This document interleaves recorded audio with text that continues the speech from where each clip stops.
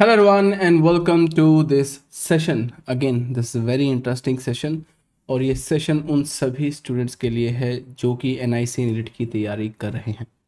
आज इस सेशन पे हम सी प्रोग्रामिंग के बहुत सारे प्रैक्टिस क्वेश्चन जो हैं यानी कि प्रीवियस ईयर क्वेश्चन हैं जो हम लोग यहाँ से कवर करने वाले हैं।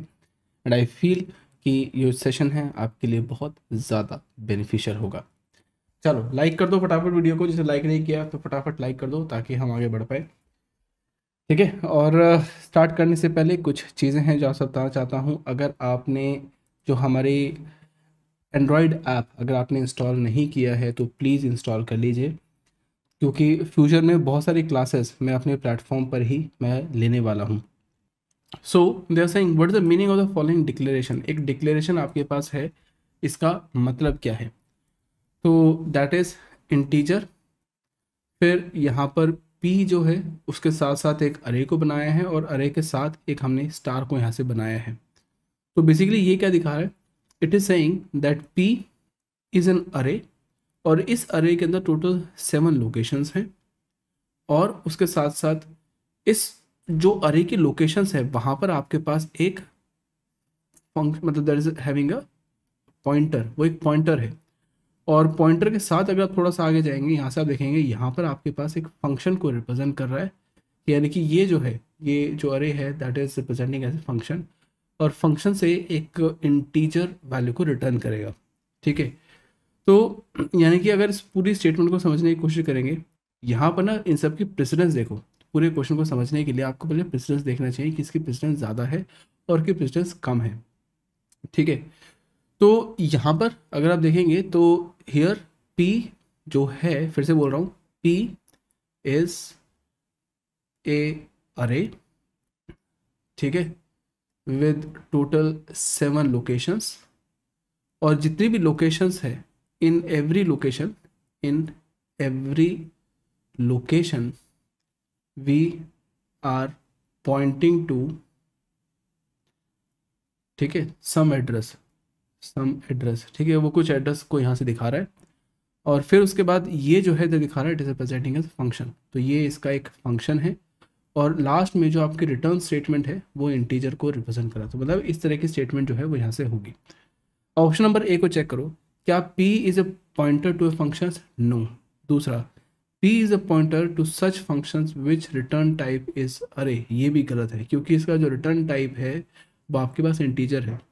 Option number C P is an array of pointer बिल्कुल सही है to a function yes absolutely right और उसके साथ साथ एक और स्टेटमेंट ये भी होनी चाहिए that is returning that is returning integer ठीक है, यानी स्टेटमेंट क्या होगा? P is array of pointer to functions returning integer तो then we can say C will be the correct answer तो सी इसका सही आंसर होगा. Option number D P is a pointer to array of functions ये सही नहीं है. ठीक है? तो सी आंसर क्या होगा? P is an array of pointer to functions returning integer ठीक है? ये पूरी स्टेटमेंट जो है वो यहाँ पर आपके पास होनी चाहिए। ठीक है? चलो let's move on to the next question here which of the following is illegal कौन सी जो स्टेटमेंट है वो यहाँ से इलीगल है? तो हमारे पास चार स्टेटमेंट है, चार ऑप्शन है।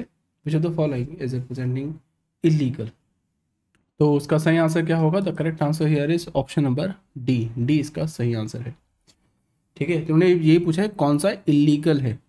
अब जो पहले स्टेटमेंट है दैट इज़ परफेक्टली फाइन क्योंकि यहाँ पर कैरेक्टर पॉइंटर को रिप्रेजेंट कर रहा है और it is pointing to a string ठीक है? तो उसका एड्रेस यहाँ से जा सकता है दैट इज़ परफेक्टली फाइन दूसरा जो है, वो आपके पास एक अरे को रिप्रेजेंट कर रहा है, जिसके अंदर ट्वेंटी फाइव लोकेशन है और जहाँ पर ये स्टेटमेंट बिल्कुल परफेक्टली फाइन है, कोई दिक्कत नहीं है। तीसरा, आपके पास एक अरे है जिसके अंदर टोटल फोर्टी लोकेशंस हैं और यहाँ पर इसको हम दे सकते हैं। That is perfectly fine and the last one ये जो है वो सही नहीं है। ऐसा रीज़न क्या है कि ये सही क्यों नहीं है? रीज़न ये है कि ये जो डेफिनेशंस है ना, ये शायद हमारे पास जावा में ऐसा हो सकता है, लेकिन सी प्रोग्रामिंग में ऐसा नहीं कर सकते। ठीक है? तो हम जो कैर एस इस तरीके से हम लोग सी को यूज़ कर सकते थे, लेकिन ये जो है हम जावा में कर सकते हैं, लेकिन सी प्रोग्रामिंग में नहीं कर सकते। ठीक है? Next if X is a one dimensional array then which of the following तो if X is one dimensional array then कुछ स्टेटमेंट जो है वो यहाँ पर गिवन है and what is the correct answer here yes the correct answer here is option number A A जो है वो आपका सही आंसर है। ठीक है? अब एक्सप्रेशन जो है मैं आपको बताता हूँ, कैसे हम स्टेटमेंट को देखने की कोशिश करेंगे। पहला स्टेप बाय स्टेप देख लेते हैं। तो वी हैव अ फ़ंक्शन ठीक है? Let suppose we have something like this we have hash include S T D I O dot H फिर मैंने एक मेन फ़ंक्शन को मैंने यहाँ से रिप्रेजेंट किया है। And let suppose we have integer N is equal to five ठीक है? कुछ वैल्यू को यहाँ से लिया integer N is equal to five या फिर इसको लेने की जगह पर आई कैन ऑल्सो टेक एक पॉइंटर और we have integer X with some locations we have one two three as well as four वो इस अरे को मैंने यहाँ से बना दिया है। ठीक है? अब ये स्टेटमेंट है। इसका मतलब क्या होगा कि हमारे पास एक अरे होगा और इस अरे में लोकेशंस होंगी। One two three as well as four index locations are zero one two as well as three अब ध्यान देना, अगर मैं स्टेटमेंट यहाँ पर प्रिंट करता हूँ प्रिंट एफ़ परसेंटेज डी या फिर यू ले लो instead of D let suppose we have percentage U और यहाँ पर मैं एक्स को रिप्रेजेंट करूँगा। तो ये मतलब क्या देगा? दैट विल गिव अ क्या देगा? That will give a address base address तो इस सारे का जो बेस एड्रेस है, वो यहाँ से बताएगा। ठीक है? फिर अगर मैं कुछ ऐसा यहाँ से दे रहा हूँ that is percentage U comma X plus two यानी कि जो सेकंड लोकेशन का एड्रेस यहाँ से आपको दे देगा। जैसे अगर मैं इस एड्रेस को एज्यूम कर रहा हूँ कि इसका एड्रेस यहाँ पर थाउज़ेंड है तो इसका एड्रेस होगा वन थाउज़ेंड फोर इसका एड्रेस होगा वन थाउज़ेंड एट और इसको एज्यूम कर रहा हूँ वन थाउज़ेंड ट्वेल्व यानी कि पहली स्टेटमेंट की वजह से जो आउटपुट आपके पास आ रहा है that is representing as a thousand और इस स्टेटमेंट की वजह से बिकॉज़ एक्स प्लस टू हमने यहाँ पर बोला है so that means we are getting जो address of index location two तो यहाँ से वन थाउज़ेंड एट आपके पास आएगा। ठीक है? अब उसी तरीके से अगर मैं कुछ स्टेटमेंट यहाँ से ले रहा हूँ that is print F percentage U comma star X यानी कि एक्स की जो लोकेशन है, उस को डी रेफरेंसिंग करेगा तो यानी कि जो वैल्यू आपके पास आएगी वो वन होगी, क्योंकि एड्रेस लोकेशन थाउज़ेंड पे वन वैल्यू आएगा so that is representing one ठीक है? ऐसे ही अगर मैं सिर्फ़ इस स्टेटमेंट को यहाँ से फोकस कर रहा हूँ, अगर मेरे पास कुछ ऐसा है कि मेरे पास star of X plus two करेंगे तो यानी कि जिस लोकेशन पर एक्स है, उसके बेस एड्रेस यानी कि वन हो जाएगा ये वाली वैल्यू बजाएगी वन वन प्लस टू की वजह से आपके पास थ्री आती है। लेकिन अगर मैं यहाँ से करता हूँ star of X plus two इसका मतलब है that is star of one thousand two यानी कि वन थाउज़ेंड एट की जो वैल्यू है, वो वैल्यू दिखाएगा। और वैल्यू कितनी आपके पास? यहाँ पर वो भी थ्री है। लेकिन इन दोनों का तरीका जो है, वो अलग अलग है। क्योंकि यहाँ पर हमने वन के साथ टू ऐड किया है, तब आपके पास थ्री आएगा। और यहाँ से डायरेक्टली हम थर्ड लोकेशन की वैल्यू को मैंने यहाँ से रिप्रेजेंट किया है। ठीक है? अगर मैं आपसे कुछ ऐसा बोलना चाहता हूँ कि so if we have x of 1 तो it is equal to saying star of x plus one अगर मैं आपको यहाँ से ले रहा हूँ that is three of X इसका मतलब है that is star of X plus three ठीक है? And that is also equal to saying X of three ये तीनों चीज़ हैं, ये स्टेटमेंट जो है वो यहाँ पर सही है। इसके साथ साथ मैं यहाँ से एड्रेस को भी मांग सकता हूँ। ठीक है? अब यही स्टेटमेंट को आप चेक करो, जैसे ऑप्शन नंबर ए है। ठीक है? इसका ए इसका सही आंसर है। ऐसा क्यों? जब भी मैं star of X plus I होगा that is equal to saying X of I ये इस वैल्यू को यहाँ से रिप्रेजेंट कर रहा है, ठीक है? और अगर मैं address of X plus that is that is I अगर मैं इस वैल्यू को यहाँ से रिप्रेजेंट करूँगा, ठीक है? समथिंग लाइक दिस तो मतलब क्या है कि जो इंडेक्स इसका मतलब है इंडेक्स आई का जो एड्रेस है, ये उस एड्रेस को मैं यहाँ से निकालूँगा।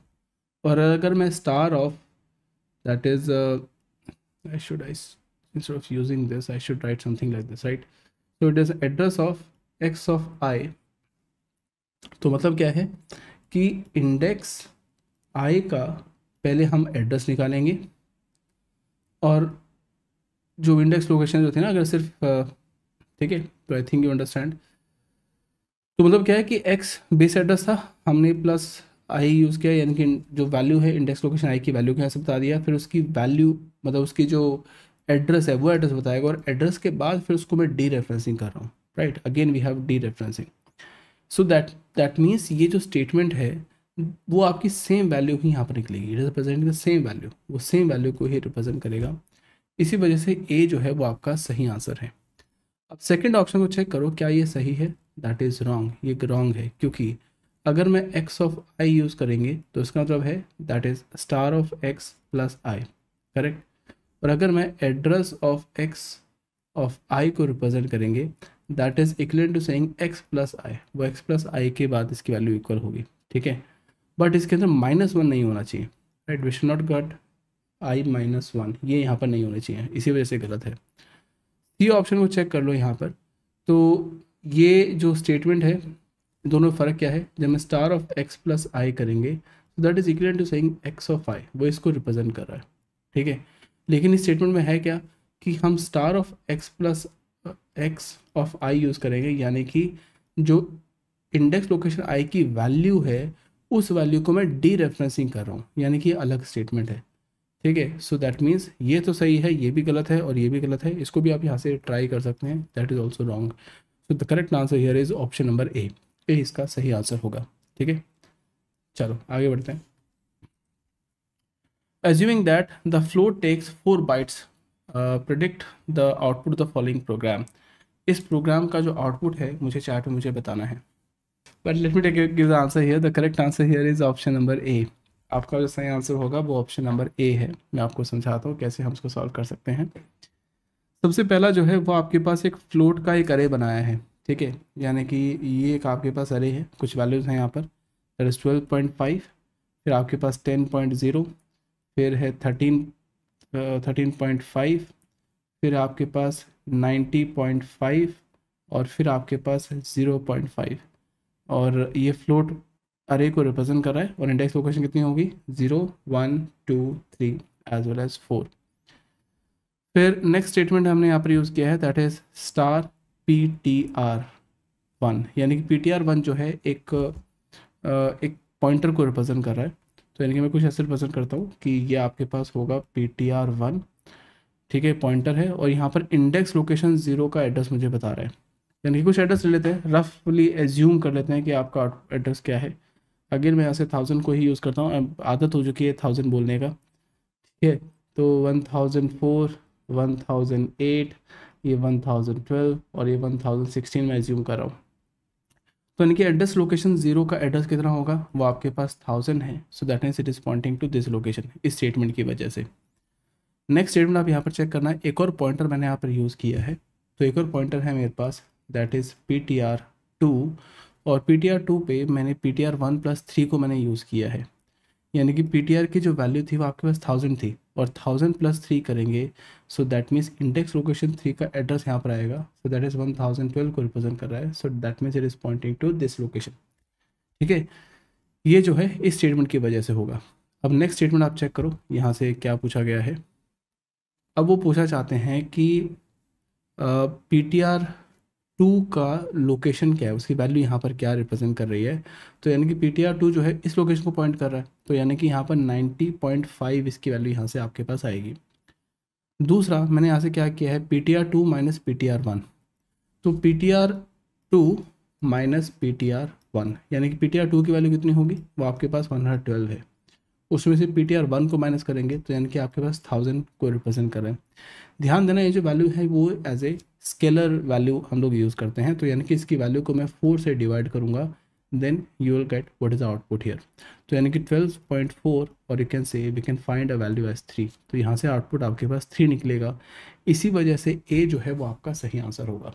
ठीक है? So A is the correct answer of this question fine I hope you understand समझ आया होगा आपको?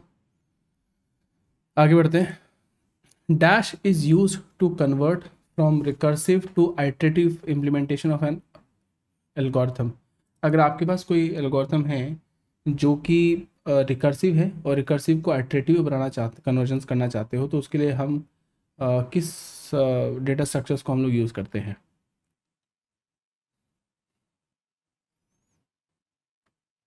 Dash is used to convert recursive to iterative implementation of an and that is option number C. हम इस case में हम stack को use करते हैं so we have to convert stack to iterative ठीक है? बट कॉन्सेप्ट है, वो आपके पास स्टैक ही है।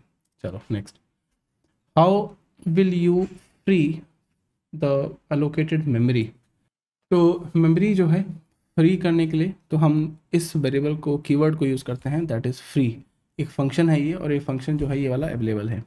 Next the keyword use to transfer transfer control from function back to calling function again the keyword use to transfer control from function back to calling function is which of the following तो कौन से statement हम लोग यहाँ से use करते हैं? Yes, the correct answer here is going to be option number d. that is return. तो रिटर्न स्टेटमेंट हम लोग यहाँ से यूज़ करते हैं। Next what will be the output if you compile and execute the following code? आपके पास एक प्रोग्राम है। आपको इसकी वैल्यू एड्रेस मुझे बताना है कि इसका uh, क्या स्टेटमेंट जो है यहाँ से प्रिंट होने वाली है। The correct answer here is going to be option number B क्योंकि बाय डिफ़ॉल्ट ये जो नंबर है ये यहाँ पर डबल है। ठीक है? ये यहाँ पर डबल है। अगर ये क्वेश्चन कुछ ऐसा होता कि 5.2 एफ़ अगर यहाँ पर यूज़ करते, अगर यहाँ पर एफ़ को यूज़ करते, तब इसका साइज़ फोर बाइट होता। बट बिकॉज़ यहाँ पर एफ़ को यूज़ नहीं किया है, इसी वजह से डबल नंबर है और इसी वजह से डबल का साइज़ होता है eight byte so B is the correct answer next will be the output if you will compile and execute the following code? What will be the output if you will compile and execute the following code? Yes, the correct answer here is option number C. C इसका सही answer है। समझने की कोशिश करते हैं। देखो दो चीज़ें हैं हमारे पास। जब भी हम कैरेक्टर को यूज़ करते हैं कैरेक्टर को हम दो तरीके से रिप्रेजेंट कर सकते हैं। पहला ये है कि मैं इसको एज ए साइंड की तरह यूज़ कर सकते हैं या फिर मैं इसको अनसाइंड की तरह हम इसको रिप्रेजेंट करते हैं। अब यहाँ पर परसेंटेज डी को रिप्रेजेंट किया है. That means it is signed वो यहाँ पर साइंड है. इसकी डेसिमल वैल्यूज़ यहाँ पर आती है. तो यानी कि पहले स्टेटमेंट को चेक करो. यहाँ पर सी की वैल्यू जो है वो वन ट्वेंटी फाइव है. अब नेक्स्ट स्टेटमेंट की वजह से मैंने वन ट्वेंटी फाइव के अंदर प्लस टेन को मैंने यहाँ से रिप्रेजेंट किया है. तो यहाँ पर वैल्यू आ रही है one thirty five but one thirty five जो है वो इस साइंड की रेंज में नहीं है. ऐसा क्यों है? क्योंकि जनरली क्या होता है कि कैरेक्टर्स जो है वो आपके पास वन बाइट का होता है और जो सबसे छोटी वैल्यू होगी, वो माइनस वन ट्वेंटी एट से लेकर जो सबसे बड़ी वैल्यू होती है, वो प्लस वन ट्वेंटी सेवन के आसपास होता है। और ये वन थर्टी फाइव जो है ना, वो इस रेंज में हमारे पास आता है। तो यानी कि अगर इस नंबर्स को देखने की कोशिश करेंगे तो इसका कुछ नंबर जो है, कुछ ऐसा रिप्रेजेंट करता है कि पहली लोकेशंस है, जहाँ पर सभी आपके पास ज़ीरो है तो इसकी वैल्यू होगी आपके पास ज़ीरो और अगर कुछ ऐसा होता समथिंग लाइक दिस ठीक है? तो उसकी वैल्यू होगी हमारे पास वन और अगर मैं कुछ ऐसे रिप्रेजेंट करते हैं तो हम ऐसे टू को रिप्रेजेंट करते हैं। और उसी तरीके से अगर आगे स्टैंड कर रहे हैं, अगर आपका सबसे लास्ट वैल्यू है आपके पास zero one one one one one one one इसको रिप्रेजेंट करते हैं तो इसकी वैल्यू होगी that is one twenty seven one twenty seven को रिप्रेजेंट करता है। ठीक है? अगली वैल्यू जो होती है आपके पास, अगर मैं समझने की कोशिश करना, अगर मैं one and all these values are zeros वो सभी वैल्यूज़ को यहाँ से ज़ीरो को रिप्रेजेंट कर रहा है। तो ये जो वैल्यू है, वो माइनस वन को रिप्रेजेंट करता है। ठीक है? और, ठीक है, एक बार मैं चेक कर लेता हूँ फिर भी। Right so let me check जिसकी मैं second so we have three bit होता है ना? तो थ्री बिट से मैं यहाँ से रिप्रेजेंट कर लेता हूँ। तो मेरे याद करने का तरीका यही है कि मैं इसको ऐसे रिप्रेजेंट करता हूँ। तो ये वैल्यू हो गया आपके पास ज़ीरो ये वन, ये टू और ये आपके पास थ्री है। और अगर इसको वंस कॉम्प्लीमेंटेशन लगाएँगे तो वन वन वन आता है। और तो इस वैल्यू को देख लेते हैं वन को। तो वन को हम रिप्रेजेंट करेंगे ऐसे ये होगा आपके पास आई थिंक ये होगा माइनस वन ठीक है? तो ये जो रेंज है हमारे पास, ये माइनस वन ट्वेंटी एट को रिप्रेजेंट करता है, ठीक है? फिर अगर मैं कुछ ऐसे रिप्रेजेंट करता हूँ, ठीक है? तो ये दिखाता है माइनस वन ट्वेंटी सेवन और ऐसे ही आगे बढ़ेंगे। अगर लास्ट में कहीं पर इसकी वैल्यूज़ हैं कि सारी वैल्यूज़ आपके पास वन को रिप्रेजेंट करता है so that is representing minus one ठीक है? अब जैसे ये वाली वैल्यू है आपके पास वन थर्टी फाइव तो वन थर्टी फाइव को रिप्रेजेंट करने के लिए हमें दो चीज़ों की ज़रूरत होती है। पहले मैं वन ट्वेंटी एट के साथ साथ मैं ऐड करूँगा विथ सेवन तो यानी कि कुछ इस वैल्यू यानी कि टोटल सेवन को ऐड करूँगा तो यानी कि इसको ऐसे रिप्रेजेंट करेंगे। One zero zero zero and we have zero one one one तो ये जो है, वो आपके पास वन थर्टी फाइव को रिप्रेजेंट करता है। और यानी कि इस रेंज को अगर आप देखने की कोशिश करेंगे ना तो क्या होगा? Minus twenty eight minus one twenty seven फिर minus one twenty six minus one twenty five minus one twenty four and so on तो यानी कि जो इसकी वैल्यू हमारे पास होगी, वो माइनस वन ट्वेंटी वन को ही रिप्रेजेंट करेगा। तो इसी वजह से इसका सही आंसर होगा ऑप्शन नंबर सी ठीक है? तो C will be the correct answer of this question ठीक है? I hope you understand concept आपको समझ में आया होगा। ठीक है तो C is the correct answer of this question चलो let's move on to next question then next question पे पहुँचते हैं। The output of the following loop is जो आपके पास एक लूप है, आपको इसका आउटपुट मुझे बताना है। What is the output of this loop तो correct answer is going to be option number D इसका सही आंसर जो है, वो ऑप्शन नंबर डी होगा। ठीक है? तो यानी कि फॉर पुट कैर ये स्टेटमेंट को यहाँ पर दिखा रहा है। ठीक है? और इस स्टेटमेंट में I think there is a statement जो है आई थिंक यू अंडरस्टैंड कि पूरे स्टेटमेंट में ना एक तीन चीज़ें हमारे पास होनी चाहिए। जब भी आप फॉर स्टेटमेंट यूज़ करते हैं तो तीन चीज़ें होती हैं आपके पास। पहला, आपकी इनिशलाइजेशन फिर दूसरा, आपके पास आता है कंडीशन ठीक है? और तीसरा आपकी इंक्रीमेंटेशन या फिर डी इंक्रीमेंटेशंस ठीक है? अब यहाँ पर होता, हो क्या रहा है कि पहली जो स्टेटमेंट है, पहली स्टेटमेंट को ही मैंने यहाँ पर यूज़ कर दिया है that is put char C तो पहले हमने पहली बार हम सी को प्रिंट करेंगे तो पहले सी विल बी प्रिंटेड फिर हम इस कंडीशन को चेक करेंगे, क्या ये कंडीशन ट्रू है कि नहीं है? और इस कंडीशन क्या दिखा रहा है आपके पास? That is putchar that is A वो ए को रिप्रेजेंट करेगा। और फिर उसके बाद बिकॉज़ कंडीशन इज़ ट्रू तो हम इसकी स्टेटमेंट हम चेक करेंगे। इसके स्टेटमेंट क्या आपके पास वो है put char that is T ठीक है? यानी कि सबसे पहले इस सी की वैल्यू को प्रिंट करेगा, फिर हमने इस कंडीशन को चेक किया तो हमने ए की वैल्यू को प्रिंट किया, फिर इस कंडीशन में जाएँगे टी को। तो हमने टी को चेक किया और फिर हम यहाँ से इंक्रीमेंटेशन और डी इंक्रीमेंटेशन को दिखाएँगे। और इंक्रीमेंटेशन डी डिक्रीमेंटेशन की वैल्यू हमारे पास put char as A R तो आपके पास आर यहाँ पर आएगा। फिर अगेन दोबारा से हम जाएँगे तो दोबारा से स्टेटमेंट को चेक करेंगे, क्या ये कंडीशन ट्रू है या फिर नहीं है। अब now as you can see the statement is true तो यहाँ से आपका फिर ए आएगा ए के बाद फिर टी आएगा और फिर आपके पास आर आएगा। फिर दोबारा से ए टी आर फिर से A T R and so on right तो that will be the output ठीक है? तो यानी कि C A T R A T R A T R A T R and so on till infinity ये जो लूप है infinity loop यहाँ पर चलता रहेगा। And then you can find D will be the correct answer of this question ठीक है, इसका सही आंसर क्या होगा? डी फाइन चलो आई होप यू अंडरस्टैंड ठीक है लास्ट क्लास में मैंने आपको बताया था कि दैट इज़ कंपाइलर डिपेंडेंस ठीक है तो जिन लोगों को नहीं पता है, फिर से आपको बताता हूँ that something called as sequence point ठीक है that something called as sequence point ठीक है तो देर अ अम्बिग्विटी इसको अनडिफाइंड बिहेवियर भी हम लोग यहाँ से बोल देते हैं.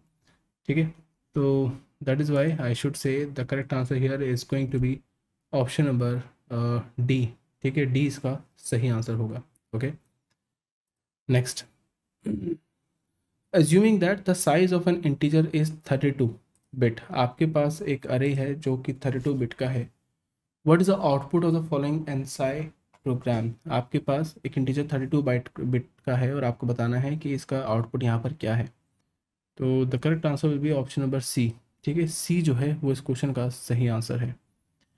ठीक है? तो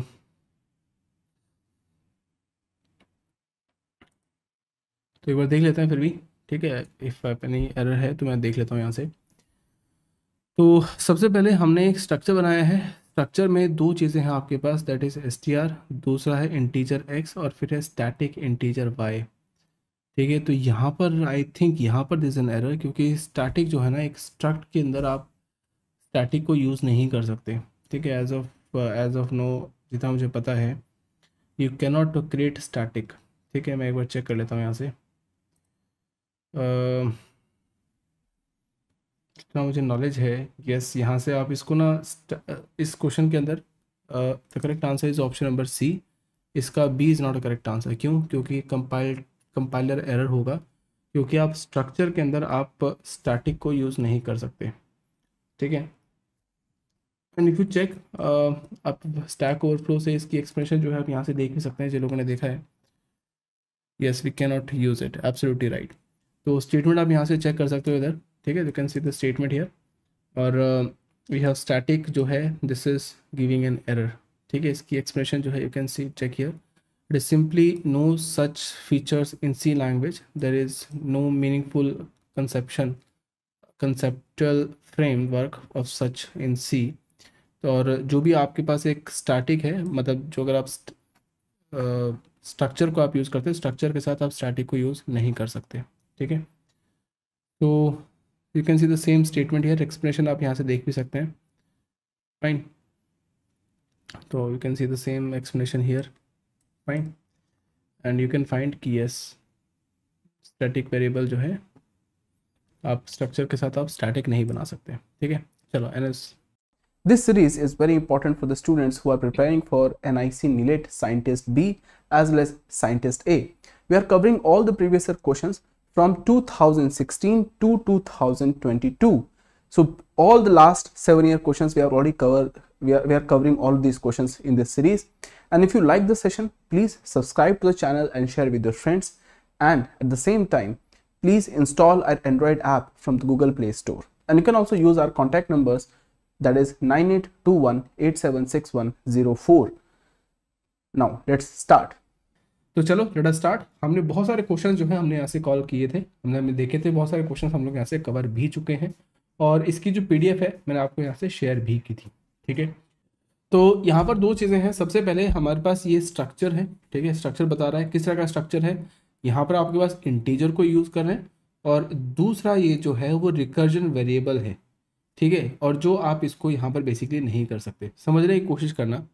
अगर आप स्टेटमेंट को देखने की कोशिश करेंगे ना, हम स्ट्रक्ट एस टी नेक्स्ट ठीक है? तो एक तरीके से रिकर्जन ही यहाँ से दिखा रहा है। हम जनरली क्या होता है कि हम लोग जब भी पॉइंटर लोग निकालते हैं तो हम लोग स्टार यहाँ से निकालते हैं। ठीक है? हम स्टार को निकालते हैं, लेकिन यहाँ पर क्या स्टार तो समझ आता है क्योंकि स्टार के अंदर भाई एक पॉइंटर होगा। वो इस टाइप का एक पॉइंटर होगा जो हम लोग यहाँ से कर सकते थे। लेकिन उन्होंने क्या किया इस स्टेटमेंट पे? Instead of giving a you know instead of using as a star ठीक है पॉइंटर की जगह पर हमने इसको एज ए वेरिएबल को मैंने यहाँ से बनाया है। ठीक है? और स्टेटमेंट को समझने की कोशिश करेंगे यहाँ पर क्या होगा। तो सबसे पहले स्ट्रक्चर एस टी टेम्प को हमने यहाँ से बनाया है, यानी कि एक वेरिएबल यहाँ से निकल गया। फिर temporary x dot temp dot x की वैल्यू यहाँ पर टेन निकाल दी है। ठीक है, अगर कोई वेरिएबल भी होगा तो वेरिएबल में सबसे पहले आपने इसकी वैल्यू को टेन यहाँ से निकाला है। और जैसे T dot next is equal to temp यानी कि इस टेम्प्रेरी के नेक्स्ट की वैल्यू को हम लोग यहाँ से यूज़ कर रहे हैं। और ध्यान देना यहाँ पर पॉइंटर नहीं है तो यानी कि कुछ ना कुछ वैल्यू यहाँ पर रहेगी और उसके अंदर भी सेम वैल्यू को ही यहाँ पर देने की कोशिश करी है। और मुझे लगता है कि शायद you can find some error तो यहाँ पर कुछ एक एरर यहाँ पर हो सकता है। मैं इसको एक ऑनलाइन कंपाइलर मैं इसको यहाँ से यूज़ कर लेता हूँ ताकि पूरा कॉन्सेप्ट आपको यहाँ से समझ में भी आए। ठीक है I am using online compiler तो ये है, मैंने एक ऑनलाइन कंपाइलर मैंने यहाँ से यूज़ किया है सेम स्टेटमेंट के लिए। और अगर इसको एग्जीक्यूट करते हैं यहाँ से, और देख लेते हैं इसका आउटपुट यहाँ से क्या होगा। Just run it and you can see there some error ठीक है? यहाँ पर एक एरर है। क्योंकि the field next is incompatible type ठीक है? आप इसको नहीं कर सकते। यू कैनॉट डू दैट क्योंकि एक रिकर्जन जो है वो यहाँ पर नहीं हो सकता। बट हाँ इसकी जगह पर अगर स्टार होता स्टार यहाँ पर होता, तब ये हो सकता था। क्योंकि उस केस में वो एक पॉइंटर को बना रहा था। ठीक है? तभी हम उसको देख सकते हैं बट यहाँ पर स्टार नहीं है। यानी कि स्ट्रक्चर का एक एक स्ट्रक्चर बनाया है, उसके अंदर हम रिकर्जन को यूज़ किया तो रिकर्जन रिकर्जन की वजह से दिस इज़ नॉट करेक्ट ठीक है? यहाँ पर आपको एक एरर यहाँ से मिलेगा। This will be incomplete type ठीक है? तो इस प्रोग्राम में आपके पास एक एरर है, ठीक है? So that is why what is the correct answer here the correct answer will be option number A A इसका सही आंसर होगा that it it gives a compile time error आपके पास एक कंपाइल टाइम एरर होता है, ठीक है? So I hope you understand ठीक है? चलो next the question based on the following program fragment तो ये क्वेश्चन का एक्चुअली दो पार्ट है, ठीक है? देर टू पार्ट्स ये इसका पहला पार्ट है इस प्रोग्राम का। ये 2017 अक्टूबर का क्वेश्चन था। और अगर आप थोड़ा सा आगे बढ़ेंगे ना आई थिंक इसका एक सेकेंड पार्ट है। I think why next I think the same same ही यहाँ से। तो ये साइंटिफिक असिस्टेंट ए का क्वेश्चन है। तो give me the answer here in the chat जिन लोगों ने इसको देखा है आई थिंक कई लोगों ने पहले ट्राई भी किया है। मैं समझा भी चुका हूँ अभिजीत ने। But still I want all of you at least try and give the answer here मैं एक्सप्रेशन जो है, मैं आपको यहाँ से बताऊँगा सबसे पहले। तो I think you get the correct answer here the correct answer is option number C इसका सही आंसर जो है, वो ऑप्शन नंबर सी है। ऐसा क्यों? क्योंकि मैंने कई बार इस क्लास में मैंने इसको समझा चुका हूँ पहले से। But is there anyone who need an explanation कुछ चाहिए तो मैं बता सकता हूँ मुझे। वैसे मुझे बताना तो चाहिए, क्योंकि कई सारे बच्चे हैं स्टूडेंट्स हैं, जो इस क्लास की रिकॉर्डिंग देखते ही हैं। बट एक्सप्लेनेशन जो है मैं आपको यहाँ से बता देता हूँ। ठीक है yes C is the correct answer but concept समझो। कॉन्सेप्ट समझना बहुत ब्यूटीफुल है, समझना बहुत ज़रूरी है। ठीक है? दो चीज़ें आपको यहाँ से बताना चाहिए पूरी प्रॉब्लम को समझने के लिए। सबसे पहले यू शुड नो एक चीज़ होती है हमारे पास टेस्टिंग ठीक है, जब भी आप कोई प्रोग्राम बनाते हो, एक मॉड्यूल आप बनाते हो तो उसके अंदर हमेशा टेस्टिंग करते हैं। और टेस्टिंग जब आप करते हो तो दो, तीन कंडीशन जो है हम लोग यहाँ से एनालाइज करते हैं। सबसे पहला काम यही होता है कि अगर आपके पास एक अरे है, ठीक है, इसके ऊपर हमने कोई मॉड्यूल बनाया, कोई प्रोग्राम हमने बनाया है तो ये प्रोग्राम हमारा ठीक काम कर रहा है या नहीं कर रहा तो तीन कंडीशन हम लोग सबसे पहले आप चेक करते हो। पहला, कि जिस जो एलिमेंट है, जिस रेंज में यहाँ पर गिवन है, क्या वो इस रेंज पे ठीक से काम कर रहा है? ठीक है, अगर वो सही कर रहा है चेक करो, क्या जो उसकी बाउंड्री कंडीशंस है, जो उसकी बाउंड्री कंडीशन है, क्या वो बाउंड्री कंडीशन में कहीं पर वो ठीक से काम कर रहा है? जो इस कंडीशंस में अवेलेबल है या नहीं है, उसकी बाउंड्री कंडीशंस क्या होगी? और फिर हम लोग देते हैं कुछ स्पेशल कंडीशंस यानी कुछ ऐसी कंडीशन जो इस प्रोग्राम में यहाँ पर दी होगी, और फिर चेक करेंगे क्या वो स्टेटमेंट जो है वहाँ से ठीक काम करता है या नहीं करता। तो तीन कंडीशन है जो हम लोग यहाँ पर चेक करते हैं। अब इन्होंने यही किया गया है, यहाँ पर आपके पास एक प्रोग्राम यहाँ पर गिवन है। प्रोग्राम बोलो, एक फ़ंक्शन यहाँ पर गिवन है। तो this is giving a function इस फ़ंक्शन में अगर आप देखने की कोशिश करेंगे यहाँ से चेक कर रहा है for which of the following condition of Y and X does the following program fails कौन से ऐसा जो प्रोग्राम है, वो यहाँ से फेल्स हो फेल होगा। हमें पहले एनालाइज करना पड़ेगा कि ये प्रोग्राम कर क्या रहा है। और अगर वो समझ आ रहा है तो हमें देखना पड़ेगा कि क्या ये वैलिड जो है जो चीज़ है यहाँ पर वैलिड है या फिर आपके पास नहीं है। अब इस कंडीशन को देख लेते हैं कि पहले प्रोग्राम कर क्या रहा है। तो पहले ऑप्शन नंबर ए को चेक करेंगे और वहाँ से हमें पता चलेगा कि प्रोग्राम क्या कर रहा है या नहीं कर रहा। तो सबसे पहले इस प्रोग्राम को समझने की कोशिश करो, इन्हें पहली कंडीशन को यूज़ किया है। एक वेरिएबल एक अरे को हमने बनाया है, जिसके अंदर टोटल टेन लोकेशन है। तो मैंने यहाँ से लेकर यहाँ तक टेन लोकेशन जो है, मैंने यहाँ से बना दिया है। So this is one two three four five six seven eight nine और टेन तो यानी कि इंडेक्स लोकेशन भी zero one two three four five six, seven, eight and nine और इसको मैं अरे वाई की तरह मैं इसको रिप्रेजेंट करूँगा। Right this is representing an array इस अरे के अंदर हमने एक और वेरिएबल को बनाया है, जिसको हम एज ए एक्स की तरह हम इसको रिप्रेजेंट करेंगे। और फिर हमने कुछ वेरिएबल्स हमने बनाए हैं। एक वेरिएबल हमने बनाया है आई दूसरा वेरिएबल हमने बनाया है जे और फिर से हमने बनाया है एक वेरिएबल जिसको हम के से रिप्रेजेंट कर रहे हैं। फिर अगली कंडीशन से I is equal to zero I की जो वैल्यू है हमने इसको आई uh, जो है I think you can see तो शायद आई जो है वो कहीं पर मेंशन नहीं है। तो लड़ा सपोज़ कि हमारे पास एक वेरिएबल भी है जिसको कहीं पर हम आई को यूज़ कर रहे हैं जिसकी वैल्यू यहाँ पर ज़ीरो है। और उसी तरीके से जे की वैल्यू आपके पास नाइन है। कहने का मतलब है कि जो पहली लोकेशन है इसको हम आई की जगह रिप्रेजेंट करें इस इंडेक्स लोकेशन की तरफ़ से। और जो लास्ट लोकेशन है वहाँ पर मैं एज ए जे की तरह इसको रिप्रेजेंट कर रहे हैं। अब इस स्टेटमेंट को समझने की कोशिश करते हैं। यहाँ पर ने बोला है कि हमारे पास कुछ, इस अरे में कुछ वैल्यूज़ हैं। कौन कौन सी वैल्यूज़ हैं? पहला है आपके पास one two three four five six seven eight nine और टेन ये आपका ऑप्शन नंबर ए है। ठीक है? रिप्रेजेंटिंग ऑप्शन नंबर ए हमने पहले इस के की वैल्यू को निकाला है। तो के की वैल्यू कितनी होगी हमारे पास? That is I plus J divide by two, ठीक है? यानी कि आई की जो वैल्यू थी, आई की जो वैल्यू थी वो आपके पास थी, दैट इज़ ज़ीरो, और जे जे की वैल्यू थी आपके पास नाइन। यानी कि हम के की वैल्यू को निकालेंगे, that is zero plus nine divide by two, यानी कि this value is going to be four. तो इसकी वैल्यू फोर होगी, और जो फोर वैल्यू होगी वो के के अंदर आएगी। तो मैंने इस के की वैल्यू को मैंने यहाँ पर फोर बना दिया है, ठीक है? यानी कि इस जगह पर आपके पास जो के है, वो यहाँ पर रिप्रेजेंट कर रहा है। फिर चेक करेंगे if this condition is true और नॉट क्या हमारे पास y of four is less than x और नॉट x की वैल्यू कितनी है? x की वैल्यू चेक करेंगे। The value of x is less than ten condition आप बोल है, x is less than ten हमें x की एक ऐसी वैल्यू को लेना है जो टेन से कम है। यानी कि अगर मैं एक वैल्यू यहाँ पर एट लेता हूँ, ठीक है? Later suppose the value of X is eight तो यानी कि अगर मैं इस कंडीशन को चेक करेंगे, क्या Y of four is less than equal to eight यानी कि क्या वैल्यू फाइव जो है, क्या वो एट से कम है? अगर ऐसा है तो हम इस स्टेटमेंट को हम चेक करेंगे आई इज़ इक्वल टू के यानी कि आई की जो वैल्यू है, वो यहाँ पर आपके पास आ जाएगा। और यहाँ पर जे इज़ इक्वल टू के ठीक है? यानी कि जो के की वैल्यू होगी, वो आपके पास के की वैल्यू जो है वो आपके पास जे के पास इधर आ जाएगी। ठीक है? एल्स के केस में। तो हमारे पास वो कंडीशन ट्रू है तो ऑब्वियसली ये वाली कंडीशन आपके पास आएगी। कहने का मतलब क्या है कि हमने जिस एलिमेंट को चेक किया है, ठीक है? इस स्टेटमेंट को समझने की कोशिश करो। स्टेटमेंट का मतलब क्या है? इसका मतलब है कि हमने जो भी एक्स की वैल्यू थी, वो एक्स की वैल्यू थी एट और एट जो है वो फाइव से फाइव से बड़ी है। तो बड़ी है तो अब हम इसके राइट साइड पर काम करेंगे। अब हमें लेफ़्ट की ज़रूरत ही नहीं है।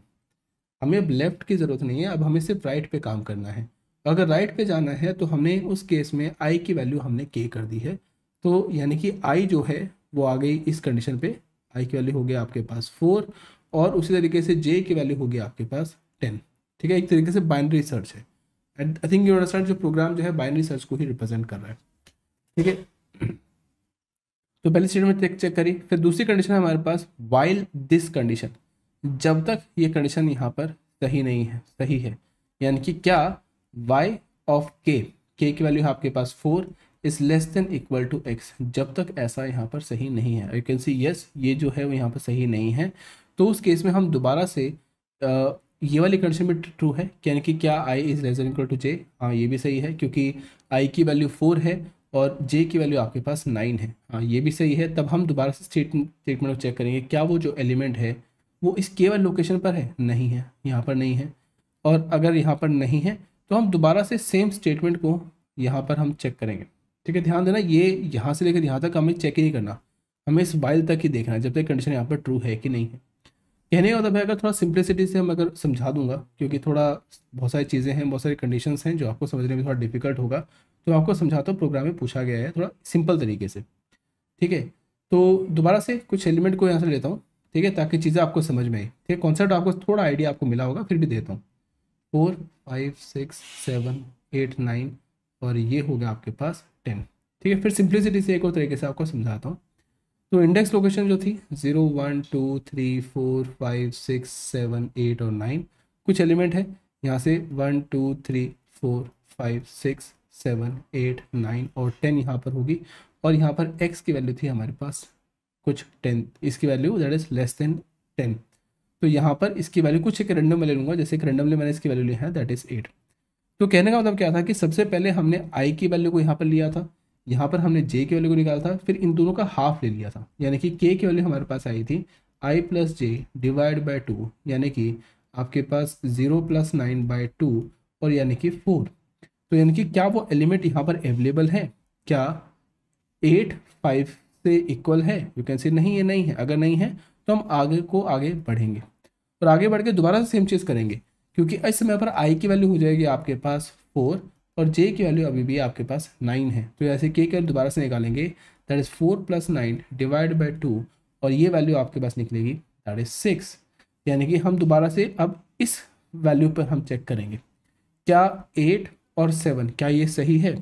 अगर ऐसा नहीं है तो क्या ये एलिमेंट एट जो है, वो इससे बड़ा है? बिल्कुल है। तो उस केस में दोबारा से आई मैं यहाँ पर पहुँचूँगा और अब मैं दोबारा से सेम चीज़ को यहाँ पर करेंगे। यानी कि नेक्स्ट टाइम आई की वैल्यू हो जाएगी आपके पास सिक्स, ठीक है? तो नेक्स्ट टाइम फिर हम निकालेंगे के की वैल्यू आओगी that is six plus nine divide by two और जो इसकी वैल्यू आएगी दैट इज़ सेवन यानी कि हम इस कंडीशन में हम चेक करेंगे, ठीक है? ये वाली कौन कौन सी होगी आपके पास? के की। तो क्या ये कंडीशन यहाँ पर मैच कर रहा है? यू कैन सी हाँ ये मैच कर रहा है। अगर वो मैच कर रहा है तो हम इस वाइल स्टेटमेंट से हम लोग यहाँ से बाहर आ जाएँगे और चेक करेंगे, क्या ये कंडीशन एलिमेंट यहाँ पर अवेलेबल है? यस ये जो एलिमेंट एट जो है, वो इस अरे के अंदर अवेलेबल है।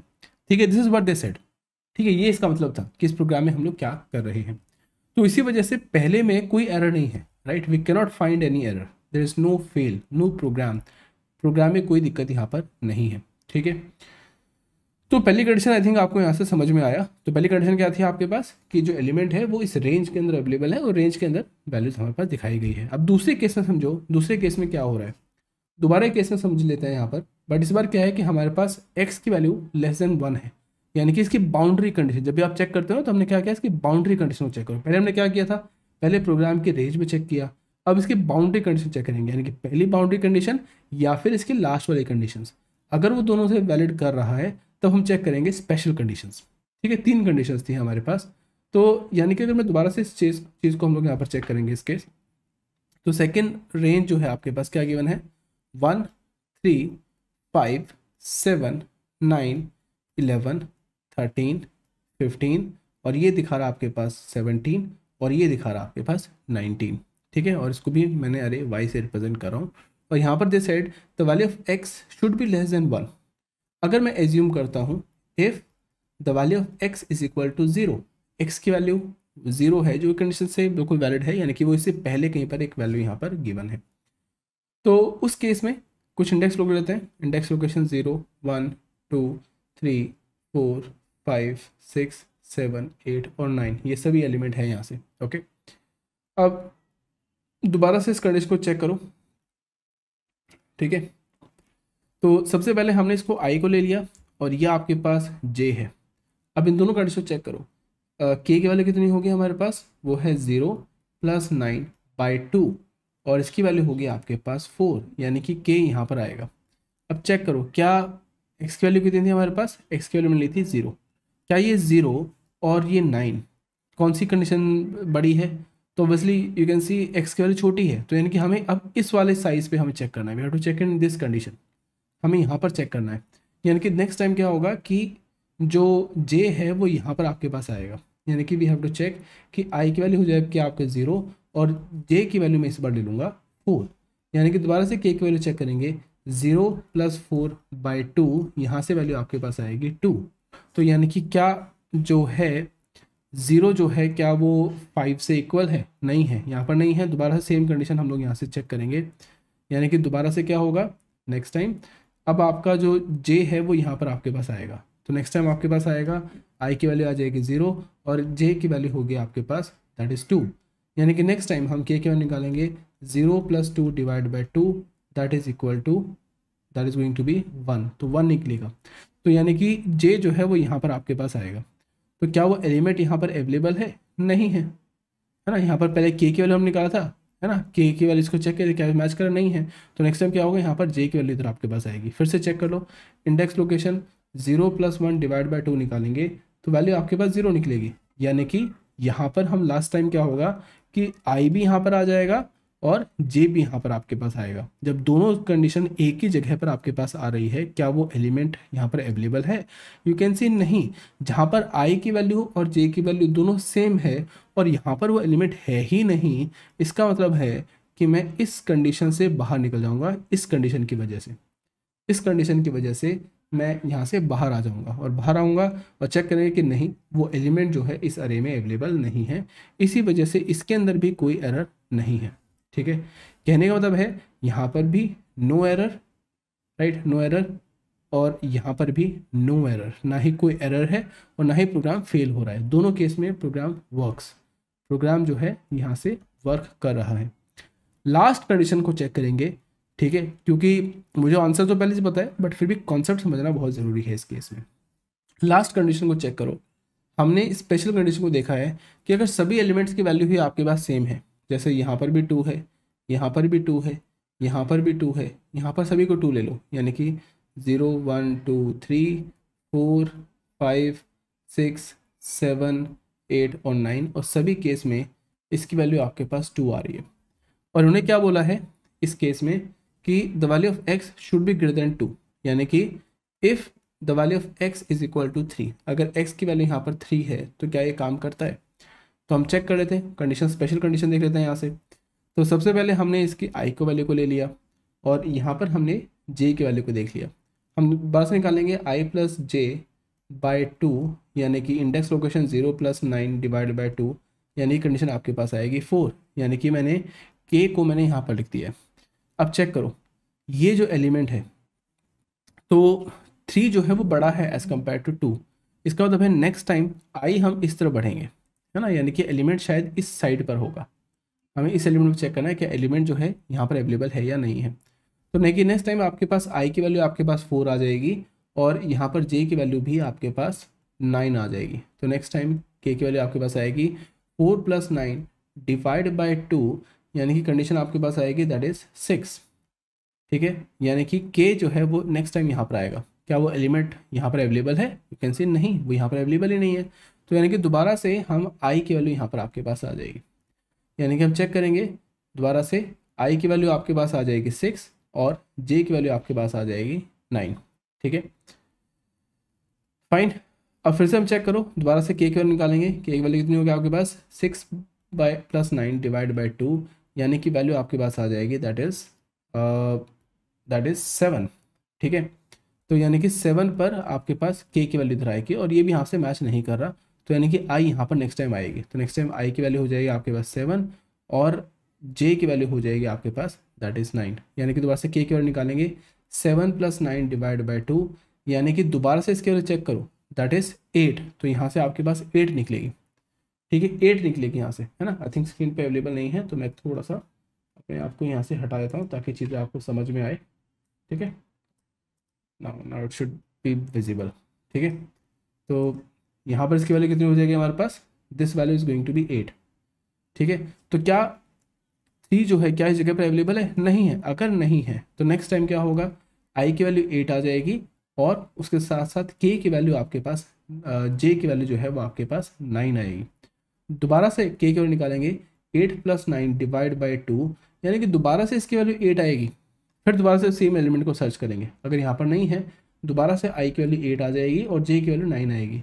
फिर दोबारा से के की वैल्यू निकालेंगे। Eight plus nine divide by two यहाँ से दोबारा से आपके पास एट आएगी। यानी कि कहने का मतलब है कि इस कंडीशन पे हम लोग यहाँ पर एक लूप में फंस रहे हैं। We are going the infinite loop infinite loop पे हम लोग पहुँच रहे हैं। इसी वजह से इसका C is the correct answer यहाँ से जो प्रोग्राम है, वो यहाँ से फेल हो रहा है। फेल क्यों हो रहा है? Because we are going for a loop infinite loop पे पहुँच रहे हैं। Is it clear next what will be the output of the following program इस प्रोग्राम में इसका आउटपुट यहाँ पर क्या है? और ये भी एन आई सी ने टू थाउज़ेंड सेवेंटीन का क्वेश्चन है तो give the answer here okay I think uh, he got the answer here. The correct answer here is option number B. इसका सही आंसर होगा. That is option number B B इसका सही answer है ठीक है? तो यहाँ पर रिकर्जन्स हैं बट इस प्रोग्राम का सबसे इंपॉर्टेंट पार्ट है वो है स्टैटिक अगर वो स्टैटिक नहीं होता तो प्रोग्राम जो है वो इन्फाइनाइट लूप पे चले जाता। बट इस स्टार्टिंग की वजह से वो इन्फाइनाइट लूप पर नहीं जा रहा है। ठीक है? तो इसी वजह से the correct answer here is three two one और जैसे ही इसकी वैल्यू आपके पास ज़ीरो आएगी तो हम इस लूप से, इस कंडीशन की वजह से हम यहाँ से बाहर निकल जाएँगे। ठीक है? इसकी वजह से हम यहाँ से बाहर निकल जाएँगे। ठीक है? So the correct answer is option number B I think you understand आपको समझ में आया होगा। तो give the output of the next question तो ये क्वेश्चन जो है, इस प्रोग्राम का मुझे आउटपुट मुझे बताना है क्वेश्चन ईजी है। ठीक है? The following program fragment prints which of the following ये जो स्टेटमेंट है, वो किसको प्रिंट कर रहा है? तो बेसिकली स्काई के हमें बताया कि 97 किसका है? दैट इज़ स्मॉल ए ऐसी ए हमारे पास B C D E F G H I J and so on right A 97 इसके स्काई कोड हो गया 98 99 ये हो गया hundred one hundred one one hundred two one hundred three one hundred four one hundred five और ये है 106 ठीक है?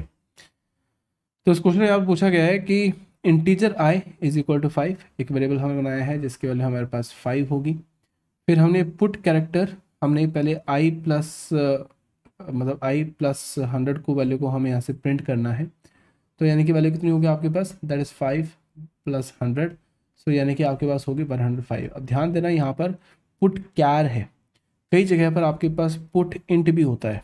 देखिए पुट कैर है ना, उसी तरीके से पुट इंट भी होता है। ठीक है? तो यहाँ पर पुट कैर है। यानी कि हम एज ए कैरेक्टर की तरफ़ पसंद करते हैं। तो यानी कि सबसे पहले आपके पास आई वन ज़ीरो फाइव इस वैल्यू को यहाँ पर रिप्रेजेंट करेगा। ठीक है? तो यानी कि आई को रिप्रेजेंट करा है। तो सबसे पहले हम आई को प्रिंट करेंगे। फिर हम इस वैल्यू पर जाएँगे और हम स्टेटमेंट को प्रिंट करेंगे। यानी कि पहले आई की वैल्यू को प्रिंट करो, वो आपके पास फाइव होगी और फिर आई माइनस माइनस यानी कि इसकी वैल्यू हो जाएगी आपके पास फोर फिर हम दोबारा से इस वाइल स्टेट में पहुँचे, पहुँचेंगे। क्या कंडीशन ट्रू है? यू कैन सी ये ट्रू है। अगर ये ट्रू है, दोबारा से हम यहाँ पर पहुँचेंगे तो हम next time one zero four की वैल्यू को प्रिंट करेंगे। तो इसका इसका ये वैल्यू होगी आपके पास एच एच के बाद फिर हम लोग आई माइनस माइनस करेंगे। यानी कि फोर होगा, दोबारा से इसकी वैल्यू आपके पास थ्री निकल जाएगी। और फिर हम दोबारा से सेम स्टेट में पहुँचेंगे एंड सो ऑन राइट तो यानी कि हमारे पास वैल्यू होगी I five H four G three F two E one और नेक्स्ट टाइम क्या होगा? नेक्स्ट टाइम इसकी वैल्यू हो जाएगी आपके पास, इसकी वैल्यू हो जाएगी दैट विल बी ज़ीरो ठीक है? और ज़ीरो की वजह से ये जो कंडीशन है, हम लोग यहाँ से बाहर निकल जाएँगे एंड विल बी आउट ठीक है? तो that is why this will be the statement that is option number A A इसका सही आंसर होगा, ठीक है? What will be the output of this program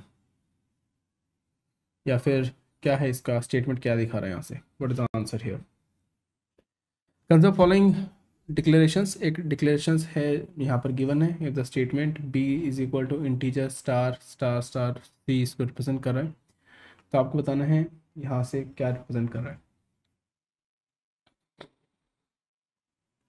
सो जिन लोगों ने अब तक चैनल सब्सक्राइब नहीं किया तो प्लीज़ सब्सक्राइब और जिन्होंने लाइक नहीं किया तो प्लीज़ लाइक ठीक है?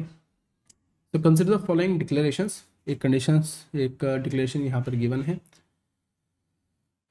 So if the pro statement is expand, expanded, expand, appended, appended to the following fragment, then which of the?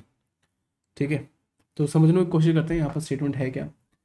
सबसे पहले हमने इंटीजर एक को बताया है तो ए जो है, वो एक वेरिएबल है इंटीजर टाइप एड्रेस लेते हैं इसका थाउज़ेंड फिर आपके पास है स्टार बी ठीक है? बाकी आपके star of B is equal to address of A यानी कि बी जो है, वो एक पॉइंटर को रिप्रेजेंट कर रहा है, और इसका एड्रेस टू थाउज़ेंड से रिप्रेजेंट कर रहा है। इसकी वजह से मैंने क्या किया कि मैंने ए का एड्रेस जो बी में डाल दिया तो यहाँ के आपके पास थाउज़ेंड हो गया so that means it is pointing to this location और इस स्टेटमेंट की वजह से हमने two level of dereferencing ले ली। तो यहाँ पर इसका एड्रेस अगर आपके पास थ्री थाउज़ेंड है तो यहाँ पर आपके पास टू थाउज़ेंड होगा so that means it is pointing to this location फिर हमने ए इज़ टू फाइव निकाला तो यहाँ से आपके पास फोर फाइव होगा, और यहाँ पर two level of dereferencing हो गई तो इसकी वजह से यहाँ पर आपके पास फाइव आ जाएगा। फोर की जगह पर फाइव हो जाएगा। इफ़ द स्टेटमेंट ये जो स्टेटमेंट यहाँ पर गिवन है that is B is equal to integer star star star C तो समझने की कोशिश करो, पहले सी की वैल्यू कितनी है? What is the value of C C की वैल्यू है आपके पास दैट इज़ टू थाउज़ेंड पहला, हम यहाँ से स्टार वैल्यू को निकालेंगे तो इसका one level of dereferencing हो गई तो यहाँ से आपके पास थाउज़ेंड निकलेगी। और फिर दो दो second level of dereferencing हमसे ले ली तो यहाँ पर हम इसको एज ए फाइव हम लोग रिप्रेजेंट करेंगे, और फिर उसके साथ इस वैल्यू को हमने यहाँ से रिप्रेजेंट किया है। तो इसका मतलब है कि जो फाइव यहाँ पर गिवन है this is given as a pointer वो यहाँ पर पॉइंटर की तरह रिप्रेजेंट करेगा। ठीक है? तो यानी कि जो एड्रेस फाइव जो है जो है, वो यहाँ पर आपके पास आएगा। और इसी वजह से, ठीक है, पहला the value of B becomes five दूसरा value B will be the address of C ठीक है? और तीसरा है वैल्यू बी इज़ अनफेक्टेड पहला value of B will be five ये नहीं होगा क्योंकि ये पॉइंटर को रिप्रेजेंट कर रहा है। दूसरा value B will be the address of C ये भी गलत है। The value B is unaffected that is wrong और of the both yes D इसका सही आंसर है। ठीक है? So D will be the correct answer क्यों? क्योंकि ये जो है, वो एक पॉइंटर होगा। ठीक है? एड्रेस होगा इस लोकेशन का। ठीक है? तो इसी वजह से डी इसका सही आंसर होगा। ठीक है? बिकॉज़ डी इफ़ेक्ट तो हुआ है। ठीक है? बट कैसे इफ़ेक्ट हुआ है? उसने पहले इसकी वैल्यू थाउज़ेंड थी। थाउज़ेंड की वजह से अब इसने वैल्यू जो हो गई है हमारे पास इंस्टेड ऑफ़ थाउज़ेंड हमारे पास एक वैल्यू यहाँ पर फाइव आ गई है। और ये पॉइंट कर एक ऐसी लोकेशन पे जिसका एड्रेस आपके पास, जो लोकेशन है जहाँ पर आपके पास फाइव है। ठीक है? तो इसी वजह से तक सही answer is going to be option number D D इसका सही आंसर है। जिन्होंने ऑप्शन नंबर सी दिया है, वो भी गलत है। जिन्होंने ऑप्शन नंबर ए दिया है, वो भी यहाँ पर गलत है। The correct answer here is option number D ठीक है? तो आई होप यू अंडरस्टैंड समझ आया? Fine This series is very important for the students who are preparing for NIC NILET Scientist B as well as Scientist A. We are covering all the previous year questions from 2016 to 2022. So all the last seven year questions we have already covered. We are, we are covering all these questions in this series. And if you like the session, please subscribe to the channel and share with your friends. And at the same time, please install our Android app from the Google Play Store. And you can also use our contact numbers that is 9821876104. Now let's start. So give me the answer of this question here. तो इसका answer जो है हम यहाँ पर chat बता सकते हैं The maximum combined length of a combined line arguments includes space between the adjacent arguments is option number A 128 characters option number B is 256 characters and C will be 67 characters and D, it may vary from operating system to another. So you have to tell what is the correct answer here. D इसका सही answer है।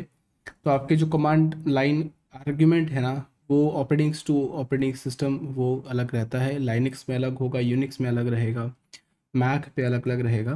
तो the correct answer here is option number B B इसका सही answer है। Okay I mean D I am sorry D is the correct answer this question So next question, what is the correct way to round off x a float value to an integer value यानी कि अगर आपके पास एक float value है हम कैसे इसको इंटीजर में कन्वर्ट कर सकते हैं? तो हम इसको किस तरीके से हम इसको रिप्रेजेंट कर सकते हैं? What is the correct way इसका सही तरीका यहाँ पर क्या है वो हमें यहाँ से बताना है। तो the correct answer here is going to be option number A A इसका सही आंसर है। और रीज़न क्या है? रीज़न आप ट्राई कर सकते हैं इस क्वेश्चन के अंदर। ठीक है? कुछ एग्ज़ाम्पल ले लेते हैं। ठीक है लेटर सपोज़ uh, कुछ रैंडम ले लेते हैं। Let's suppose the value of X जो है मैं five point six five seven को मैं यहाँ से एज्यूम कर रहा हूँ। तो अगर पहले केस समझने की कोशिश करेंगे तो वैल्यू क्यों होगी हमारे पास?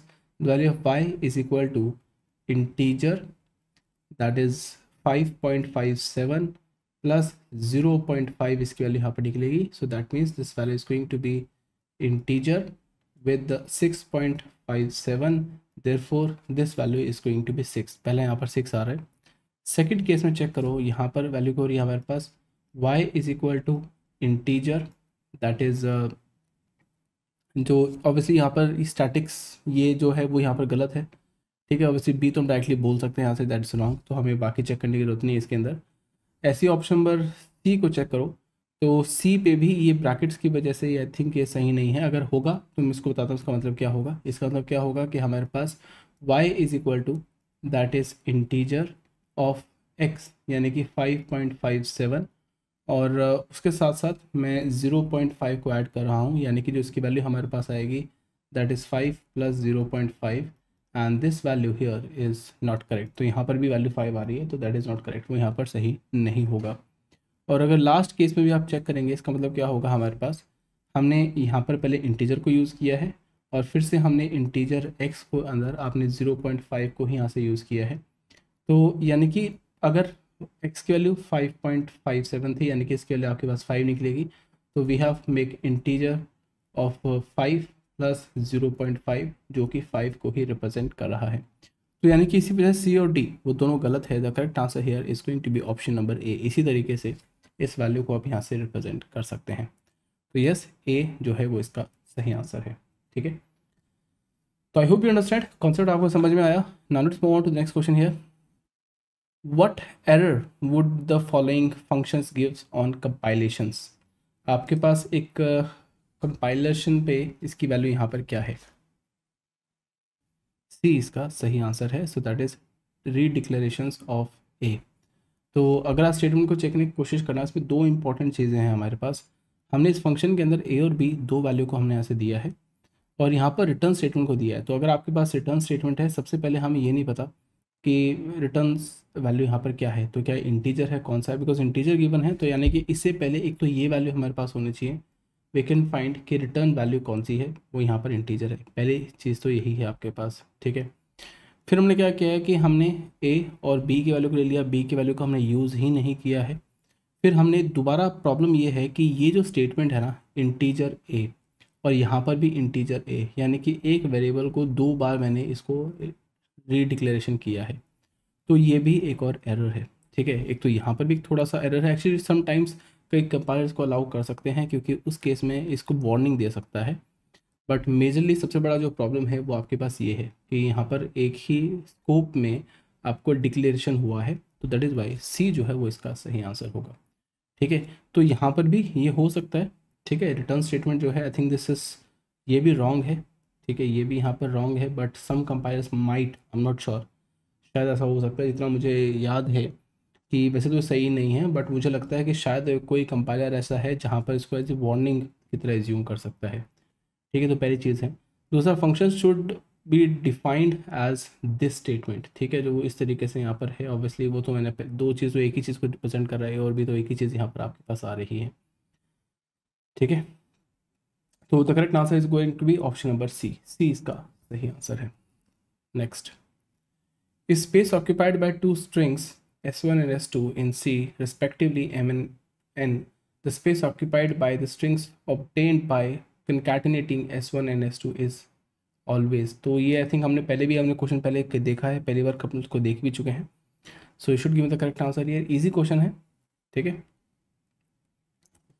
तो ये क्वेश्चन आई थिंक दो बार आ चुका है दो अलग एग्ज़ाम में। So the space occupied by two strings दो स्ट्रिंग है, एक है आपके पास एस वन दूसरा आपके पास है एस टू और m1 and s2 then the space occupied, the by obtained by concatenating s1 and s2 is always तो कौन सी वैल्यू हमारे पास आती है? The correct answer here is going to be option number A A इसका सही आंसर है that is less than M plus N तो ए इसका सही आंसर होगा। ठीक है? समझने की कोशिश कर लेते हैं। जैसे अगर हमारे पास एस वन एक स्ट्रिंग है तो स्ट्रिंग का मतलब है कुछ ऐसा होगा आपके पास।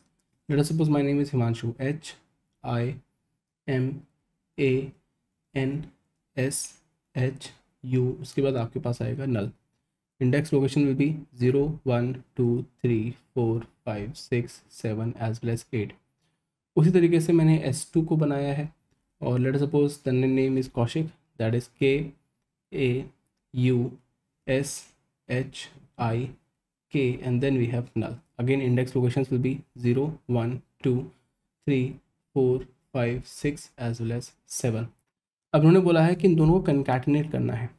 ठीक है? तो यानी कि चेक करो एस वन की लेंथ कितनी है? The length of this string is going to be eight और इसकी लेंथ कितनी है? The length is going to be seven even though हमारे लास्ट में एक नल स्टेटमेंट आती है, लेकिन अगर पूछेगा इसकी लेंथ कितनी है तो length is going to be seven और इसकी लेंथ होगी आपके पास एट अगर मैं दोनों कंकैटनेट किया, यानी कि पहले एस वन को कंकैटनेट किया विद एस टू के अंदर तो हमारा जो रिज़ल्ट है, कुछ ऐसा आपके पास आएगा। That means I will get H I M A N S H U और ये जो नल है ना, वो नल यहाँ से स्किप हो जाएगा। इसके जगह पर डायरेक्टली कौशिक आएगा। K A U S H I K और फिर आपके पास होगा नल यानी कि अगर सभी इंडेक्स लोकेशन को देख लो index location one two three four five six seven eight nine ten eleven twelve thirteen fourteen fifteen as well as sixteen यानी कि जो इसकी लेंथ होगी हमारे पास, वो सिक्सटीन होगी। ठीक है? यानी कि अगर दोनों को ऐड करने की कोशिश करेंगे ना if you check the length of S one length of S two यानी कि एस वन की लेंथ और एस टू की लेंथ हम ऐड करेंगे so that is eight plus seven यानी कि वैल्यू आपके पास लगभग I think we should get a value as fifteen ठीक है?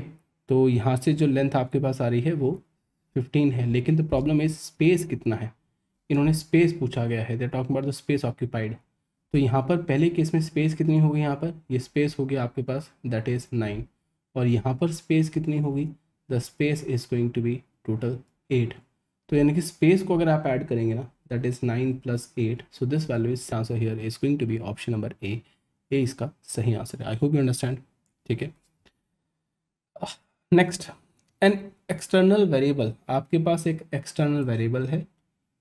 Option number A is globally accessible by all functions. Option number B has declarations ex extern associated with it when the declaration within a function. Option number C will be initialized to 0 if not initialized. Option number D is none of the above.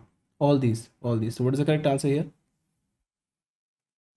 So what is the output here?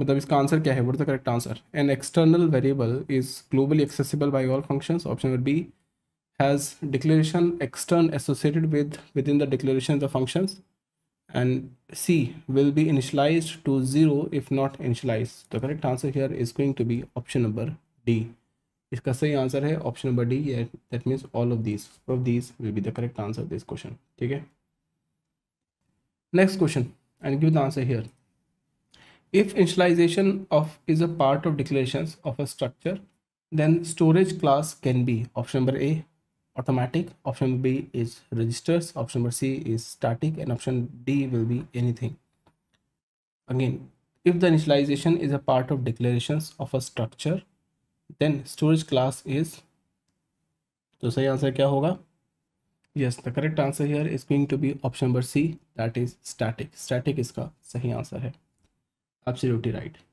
चलो आगे बढ़ते हैं if x and y are variables as declaration below double double की value आपके पास X is equal to zero point zero zero five and Y is minus zero point zero one what is the value of ceiling of X plus Y where ceil is a function to communicate compute ceil of a number what is the correct answer here so again am saying if X and Y are variables as declare below तो आपके पास एक x है और ये double value है जिसकी value हो ज़ीरो पॉइंट ज़ीरो फाइव और y की वैल्यू होगी that is minus zero point zero one है।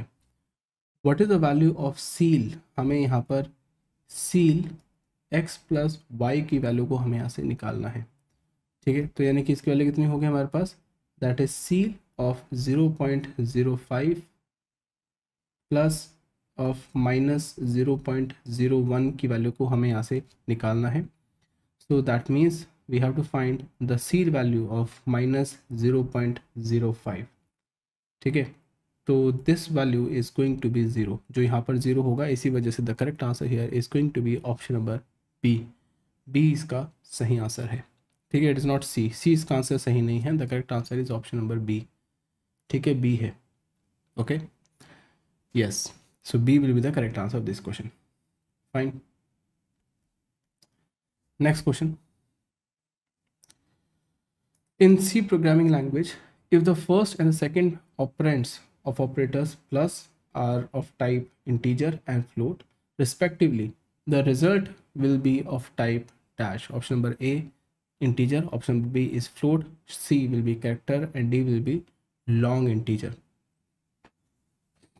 Again in the c programming language the first and the second operators of the operators plus यानी कि आपके पास दो है। एक, हम लोग यहाँ से इंटीजर को यूज़ कर रहे हैं, उसके साथ साथ हम फ्लोट को यूज़ कर रहे हैं। जैसे इसके value four plus two point three four F value को हम यहाँ निकाल रहे हैं तो रिज़ल्ट आपके पास होगा, वो अपडेट हो जाता है। दैट क्रिएट अ फ्लोट यानी कि आपके पास six point three four float की तरह ही रिप्रेजेंट करता है। So the correct answer here is going to be option number B तो बी इसका सही आंसर है। Good what will be the value of X and Y after execution of the following program statement आपके पास एक statement है और हमें बताना है कि इसकी वैल्यू यहाँ पर क्या होगी। ठीक है? सो so, यहाँ पर हमने बुलाया है पहली स्टेटमेंट से integer is equal to five तो एन होगा जिसके वैल्यू आपके पास फाइव होगी। उसी तरीके से Y is equal to N plus plus ठीक है? यानी कि अगर एन की वैल्यू एक्स वैल्यू हो जाएगी आपके पास फाइव और इस एन प्लस प्लस के जैसे पोस्ट इंक्रीमेंटेशन है एडिशन है राइट तो यानी कि इसकी वैल्यू यहाँ पर सिक्स हो जाएगी। तो अगर मैं इस वैल्यू को दिखा रहे Y is equal to minus of X यानी कि वाई की वैल्यू हो जाएगी यहाँ पर इज़ माइनस फाइव तो यानी कि इसकी वैल्यू को हमें यहाँ बताना है। तो तो ये एक्स और वाई की वैल्यू निकालना है so you to find X as well as Y तो एक्स की वैल्यू होगी सिक्स और वाई की वैल्यू होगी माइनस फाइव तो यानी कि that is representing option number B B इसका सही आंसर है। Okay it's not D D नहीं होगा the correct answer is option number B ठीक है? सो डी नहीं है. I am not sure why you are giving D the correct answer is option number B B ही यहाँ पर value यहाँ से निकलेगी. ठीक है? C like pseudo code of the functions that takes the number of as N arguments and uses a stack as to do processing what does the following functions do in general आपके पास क्या होता है यहाँ से? क्या print होने वाला है यहाँ से? Yes the correct answer here is option number b the print binary representations of n. n की binary representations को यहाँ से represent कर रहा है। तो समझने की कोशिश करते हैं कैसे हम उसको सॉल्व कर सकते हैं। Let suppose the value of N की वैल्यू को ले लेते हैं। कुछ वैल्यू ले लो जैसे न, मैं इसकी वैल्यू को थर्टीन ले रहा हूँ ठीक है? या फिर इसकी वैल्यू को आप थर्टीन ले लो ठीक है? थर्टीन से इसकी वैल्यू कितनी होती है हमारे पास? वो है one one zero one I think ये वैल्यू यहाँ से निकलती है। अब सेम चेक को यहाँ पर चेक करो। हमने इस फ़ंक्शन को कॉल किया सबसे पहले। तो हमने पहले कॉल किया फ़ंक्शन ऑफ़ थर्टीन और फिर हम स्टैक को यूज़ कर रहे हैं। तो this is representing as a stack और स्टैक को एस के रिप्रेजेंट कर रहे हैं। सो so, वाइल जब तक एन की वैल्यू ज़ीरो से बड़ी है यू कैन सी यस हाँ ये कंडीशन ट्रू है। तब हम इस स्टेटमेंट को चेक करेंगे। पुश द वैल्यू स्टैक के अंदर हम इसका मॉड वैल्यू को निकाल रहे हैं। तो यानी कि हम लोग यहाँ से एग्जीक्यूट करेंगे that is thirteen mod two यानी कि इसकी वैल्यू हो होगी आपके पास वन ठीक है, हमने इसकी वन वैल्यू को स्टैक में पुश कर दिया और फिर हमने इस स्टेटमेंट को चेक किया that is N is equal to N by two यानी कि एन की जो वैल्यू होगी आपके पास दैट विल बी सिक्स ठीक है, फिर हम दोबारा से इस वाइल स्टेटमेंट पर जाएँगे और चेक करेंगे कि दोबारा से ये एन की वैल्यू थी ना? ठीक है तो उसे चेक किया क्या एन जो है वो ग्रेटर देन ज़ीरो है यू कैन से यस ऐसा है। तो दोबारा से इस टैग के अंदर हम लोग नेक्स्ट स्टेटमेंट को डालेंगे। That is six mod two यानी कि वैल्यू आपके पास आ जाएगी ज़ीरो और फिर इस स्टेटमेंट की वजह से N is equal to N by two यानी कि एन की वैल्यू आपके पास आ जाएगी दैट इज़ थ्री ठीक है? यानी कि दोबारा से एन की वैल्यू होगी आपके पास दैट इज़ थ्री फिर हम चेक करें, क्या ये कंडीशन ट्रू है? क्या ये जो स्टेटमेंट है, क्या वो ट्रू है? यू कैन सी यस ये स्टेटमेंट यहाँ पर ट्रू है। दोबारा से हम थ्री मॉड टू वैल्यू को निकालेंगे so that means this value is representing as a one one के बाद हम दोबारा से इस स्टेटमेंट को चेक करेंगे। N is equal to N by two ठीक है? N is equal to N by two यानी कि एन की वैल्यू आपके पास हो जाएगी दैट इज़ वन ओके फिर हम चेक करेंगे, क्या N is greater than zero क्योंकि एन की वैल्यू कितनी आपके पास one and this statement is again true अगर वो ट्रू है, दोबारा से एलिमेंट को स्टैक में डालेंगे। यानी कि वन प्लस टू यहाँ पर डालेंगे सो स्टैक की वैल्यू हो जाएगी आपके पास वन। और नेक्स्ट टाइम हम लोग करेंगे N is equal to N by two यानी कि एन की वैल्यू हो जाएगी आपके पास ज़ीरो और जैसे ही हम इस स्टेटमेंट चेक करेंगे नेक्स्ट टाइम एन की वैल्यू आपके पास ज़ीरो है और N is greater than zero तो this statement is going to be false ये स्टेटमेंट यहाँ पर फॉल्स होंगी और हम इस स्टैक से बाहर निकल जाएँगे, ठीक है? इस वाइल से बाहर निकलेंगे। अब हम इस स्टेटमेंट को एग्जीक्यूट करेंगे। जब तक स्टैक एम नहीं है तब तक एलिमेंट को पॉप करो और उसकी वैल्यू को प्रिंट करो। यानी कि सबसे पहले, सबसे वैल्यू गया आपके पास वन इसको पॉप कर दिया तो वन आ गया। इसको निकाला वन आ रहा है। इसको निकाला ज़ीरो होगा। इसको निकाला वन होगा। तो यानी कि अगर आप देखने की कोशिश करेंगे, वो इसकी बाइनरी रिप्रेजेंटेशन को ही रिप्रेजेंट कर रहा है। और वही इस ऑप्शन में चेक कर रहा था so B will be the correct answer ठीक है? बी इस क्वेश्चन का सही आंसर है। ठीक है? So I hope you understand ये आपको से समझ में आया होगा। ठीक है? तो anyways I hope you like the session session आपको अच्छा लगा होगा। और अगर आप एन आई सी नेट की तैयारी करना चाहते हैं तो हमारे साथ भी कॉम्प्रिहेंसिव कोर्सेज आप यहाँ से देख सकते हैं। अगर आपने हमारी एंड्रॉयड ऐप इंस्टॉल नहीं की है तो please install it so that we can see all of my classes ठीक है, आपको किसी और क्लासेस नहीं देखनी पड़ेगी। मेरी ही क्लासेस हैं सारी। मेरी सारी क्लासेस आप यहाँ से देख सकते हैं। ठीक है? तो I hope you like the session let's meet the next session have a good time to all of you bye and take care take care to all of you bye bye